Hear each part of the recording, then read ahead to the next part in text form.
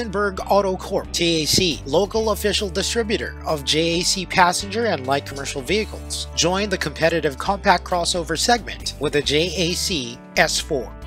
TAC said it's confident that the budget-friendly JAC S4, which uses the Volkswagen VDA quality system, can battle toe-to-toe -to -toe with the competition in a spec-to-spec -spec battle. The JAC S4 sports a 1.5-liter turbocharged engine with IVVT technology that generates 147 horsepower and 210 newton meters of torque mated to either a 6-speed manual or continuously variable transmission. Inside the JAC S4 features cutting-edge technology from interactive 10.25-inch LED instrument panel a 10.25-inch LED instrument panel with smartphone connectivity to a smart entry and push start system.